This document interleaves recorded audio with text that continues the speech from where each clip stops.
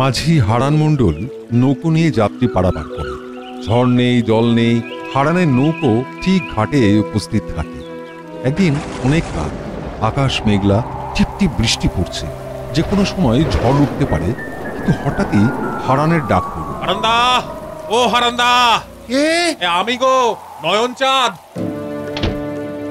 আরে এই তো রেইতে কি হয়েছে নয়ন? আমার বউয়ের বড় প্রসব বেদনা উঠেছে গো। শহরে নিয়ে যেতে হবে। কিন্তু এমন আকাশের অবস্থা যে কোনো মাঝি সাহস পাচ্ছে না গো। বলছে যে কোনো সময় ঝড় উঠতে পারে। অন্য ভয় নাই। তুমি বইকে নিয়ে ঘাটতে আইছো আমি নৈকা খুলতেছি। চিন্তা করতো না আমি তোমাদের ঠিক ওই পাইরে পৌঁছে দিব। আমার প্রাণ থাকতে আমি তোমাদের অন্য ক্ষতি হইতে দিব না। হ্যাঁ। বেশ আ- আ, তুমি যখন বলছো আমি একটু ধরে প্রাণ পেলাম গো। আমি তবে যাই বউকে নিয়ে আসি। আচ্ছা আচ্ছা আচ্ছা নৌকো নিয়ে ফেরার পথে যখন নৌকো মাঝ নদীতে তখন বৃষ্টির দাপট বাড়তে শুরু করে।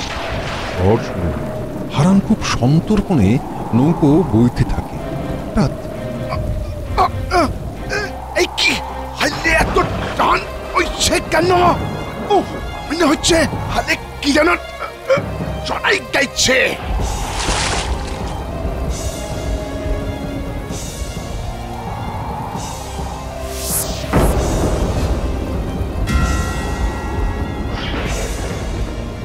কে? কে তুমি? আমি মৎস্যকন্যা। জানো নদীর নিচে খুব মেঘ করেছে। সূর্য কালো মেঘে ঢেকে গেছে। এখনই সেখানে বৃষ্টি নামবে। কিন্তু গতবার ঝড়ে আমার ঘর ভেঙে গেছে। তাই বৃষ্টি হলে আর আমার থাকার জায়গা থাকে না। তাই তো তোমার নৌকো দেখে ওপরে উঠে এসেছি। জলের তলায় সূর্য! হ্যাঁ গো হ্যাঁ। তোমাদের ওপরের পৃথিবীর মতো জলের নিচেও একটা পৃথিবী আছে। সেখানেও দিন হয় রাত হয় মেঘ করে বৃষ্টি নামে। পৃথিবীতে যখন রাত হয় সেখানে তখন দিন। কিন্তু ওপরেও তো বৃষ্টি হচ্ছে। তুমি তুমি থাকবা কোথায়? যতক্ষণ বৃষ্টি হবে ততক্ষণ তোমার নৌকার ছইতে বসে থাকব। নিচের বৃষ্টি কমে গেলে আবার ফিরে যাব। এই বলে মাঝি ও মৎস্যকন্যা গল্প শুরু করে। কিছুক্ষণ পর মৎস্যকন্যা জলের ভেতর মুখ ডুবিয়ে দেখে ও বলে ওঠে ওই দেখো বৃষ্টি থেমে গেছে এবার আমি যাই। চলে যাবে? আবার কবে আসবে তুমি। আবার যেদিন নিচে বৃষ্টি হবে আর পৃথিবীর ঈশান কোণে মেঘ জমবে সেদিন তোমার সঙ্গে আমার দেখা হবে। কেমন? এই বলে মৎস্যকন্যা জলে নেমে এইভাবেই যেদিন নদীর নিচে বৃষ্টি হয় আর পৃথিবীর ঈশান কোণে মেঘ জমে সেদিন দুজনের দেখা হয়। এদিকে কীভাবে জানি জমিদারের কানে যায় মাঝিদের কেউ একজন মৎস্যকন্যার দেখা পেয়েছে। শুনে। মৎস্যকন্যা এই জিনিস তো শহরের লোক কেউ কখনো দেখেনি। একে যদি আমি বন্দি করে রাখি, তাহলে শহরের মানুষ অনেক টাকার টিকিট কেটে দেখতে আসবে। আর আমি দুদিনে বড় লোক হয়ে যাব। শোনো নায়েব, গ্রামে ঢেড়া পিটিয়ে জানিয়ে দাও যে আমি দিন তিনেক সময় দিলাম। এই তিন দিনের মধ্যে যদি মাঝি মৎস্যকন্যাকে আমার কাছে হাজির করতে পারে তাহলে তার যথাযথ মূল্য দেওয়া হবে। আগে আমি এক্ষুনি গ্রামের সব মাঝিদের জানিয়ে দিচ্ছি। শোনো শোনো শোনো।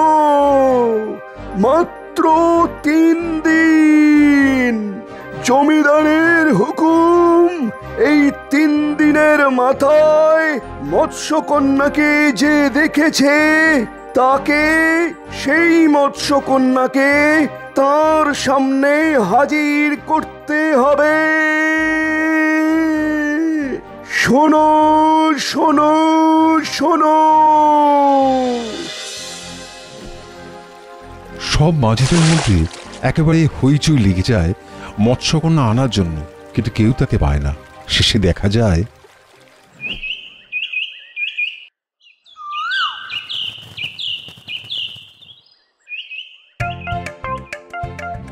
দেখো ভাই ভালো করে মাপ নিও যেন ঠিকঠাক হয়। হবে হবে। শোনো ওই নিচটায় অনেক কাপড় রাখবে ওই মৎস্যকন্যাদের যেমন ঝোলে। আরে দাদা অত সময় নিলে হবে না। আমরাও তো লাইনে আছি নাকি? এই সকাল থেকে লাইনে দাঁড়াইছি লাইন আর এগোই না। আরে সময় তো লাগবেই সব বুঝিয়ে দিতে হবে না। আয় আমারটা শুনে শুনে তুই যে আমার রংটা বদলালি কেন? কেন বদলালি? আরে আমি কেন তোমারটা শুনতে যাব দিদি? আমাদের তো বাড়ি থেকেই সব ঠিক করা ছিল। তুমি দেখো কি করে আমার রংটা কানে কানে শুনে নিয়েছো। আহ আপনারা শান্ত হন। আমার সব নম্বর গুলিয়ে যাচ্ছে। দয়া করে আপনারা একটু চুপ না করলে আমি আমি কিন্তু মাপ নেওয়া এক্ষুনি এখানেই বন্ধ করে দেবো।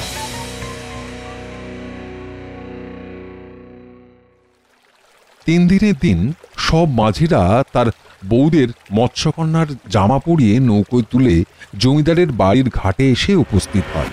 প্রত্যেক মাঝি জানায়, এইমাত্র তারা সেই মৎস্যকন্যাকে জল থেকে তুলে এনেছে। জমিদার বাবু তো এত মৎস্যকন্যা থেকে অবাক। তিনি বলেন, তো মৎস্যকন্যা? থেকে এলো এত মৎস্যকন্যা? মনে হচ্ছে কোনো গন্ডগোল আছে। তোরা কেউ মিথ্যে বলছিস না তো? না না হুজুর। একদম সত্যি বলছি। এ আসল মৎস্যকন্যা এই এই, এই কিসের শক্তি হ্যাঁ? ওটা তো তোর বউ। তুই আবার কি বলিস? তোরও তো ওটা বউ। তার মানে এরা আমায় মিথ্যে বলছে কিন্তু এর মধ্যে আসল মৎস্যকন্যা বুঝব কেমন করে? বেশ সব মৎস্যকন্যারা জলের মধ্যে ঝাঁপিয়ে পড়ো। তারপর তিন মিনিট জলের তলায় থাকে। যে উঠে আসবে আমি মেনে নেব সেই মৎস্যকন্যা আমাকে বলল নৌকাতে বসে থাকলেই হবে। এখন বলছে নেমে যা। তুমি নৌকা ঘোরাও। তিন মিনিট মানুষে পারে এই ঠান্ডা জলে ডুবে থাকতে। জমিদার মশাই ধরে ফেলেছে গো। চলো এখনই এখান থেকে পালাই। চলো চলো চলো ও তাহলে তোর নৌকোয় যে আছে সেই মৎস্যকন্যা না, হুজুর, এ আমার বউ। একমাত্র হারানি আছে যে মৎস্যকন্যাকে দেখেছে। কিন্তু জানি না কেন সে এখানে আসেনি, হুজুর। সব কটা লোক মিথ্যেবাদী। দাদা এই, কে আছিস? এদের ধরে অন্ধকার ঘরে বন্ধ করে রাখ। হারানের এত বড় সাহস হয় কি করে? যে সে আমার আদেশ অমান্য করে? দাদা যা।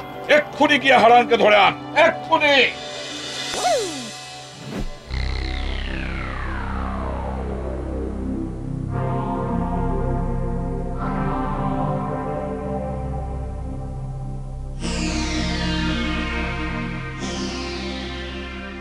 হারান তিন দিন হয়ে গেল। তুই কি ঘুমোচ্ছিলি? আমার আদেশ শুনিসনি? আগে তার তো সব সময় দেখা মেলে না। বেশ যতক্ষণ না তার দেখা মিলছে তোকেই বন্দি করে রাখব। আগে কয়টা ঈশান কন্যা মেঘ করলে তার তার দেখা মেলে।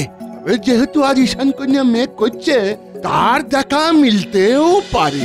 তবে নদীর মাঝখানে যাইতে হবে। বেশ এই কে আছিস? এর হাত বাঁধ।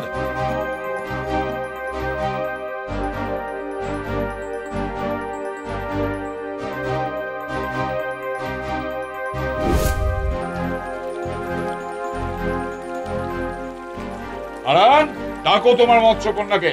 হুজুর আমি ডাক দিলেই সে আসবে। কিন্তু কিন্তু দয়া করে তাকে বাঁধবেন নি সেটা আমি বুঝব। তুই শুধু ডাক তাকে।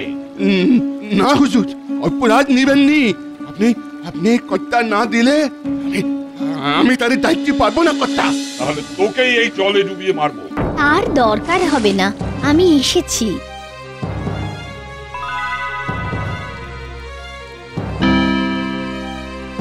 হারান?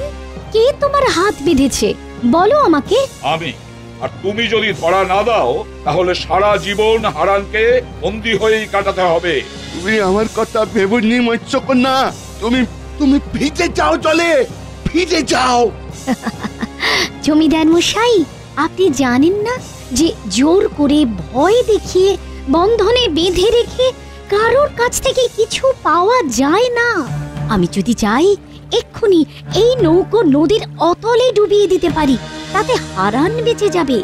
কিন্তু জমিদার মশাই, জলের অতলে তলিয়ে যাবেন।